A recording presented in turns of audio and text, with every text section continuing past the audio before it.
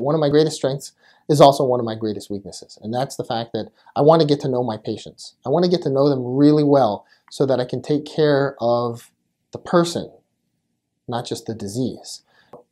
I pride myself in taking the time to get to know my patients, get to know what's going on with them so I have a better idea how to take better care of them.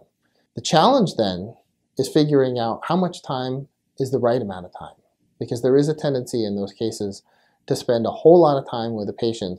And even though it may make the patient feel good, it does it does make it more difficult to see other patients who also have problems